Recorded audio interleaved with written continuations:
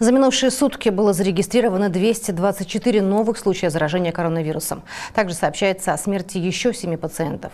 Между тем, за сутки от COVID-19 выздоровели 230 человек. При этом из более чем 156 тысяч случаев, зарегистрированных с начала пандемии, более 42% пришлось на столицу.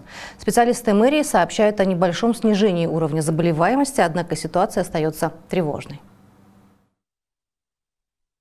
Capacitatea totală a de spitalizare pentru pacienții COVID în spitalele municipale este de 1037 de paturi și aceleași 204 de triaj.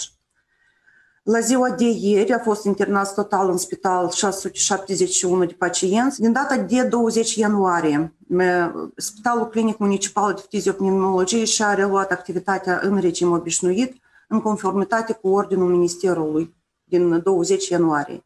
În dependență de evoluția situației epidemiologice, acest spital va putea fi iar inclus în lista instituțiilor municipale spitalicești destinate pacienților care întrunesc criteriile definiției de caz pentru COVID. Продолжается наблюдение за ситуацией в школах и детских садах. Сейчас болеет 66 учеников. На самоизоляции находятся 763 учащихся из 20 школ. Среди инфицированных и 45 учителей. Еще 20 находятся на карантине. În instituțiile de educație timpurie care activează la zi avem trei copii bolnavi, cazuri noi două, în autoizolare 160 copii, cadre didactice bolnavi 21, inclusiv cazuri noi 3.